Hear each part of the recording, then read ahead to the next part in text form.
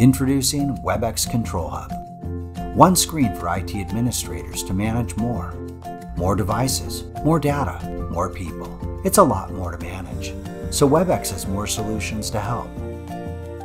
IT admins can experience issues live for themselves to help ASAP.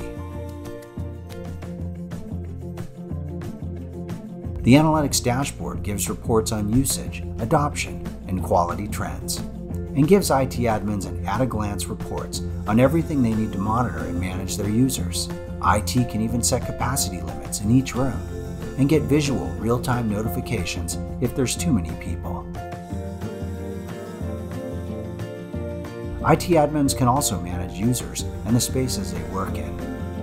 One place for real time troubleshooting, analytics, workspace optimization, and user and device management, all accessible from anywhere. The Control Hub makes it all possible.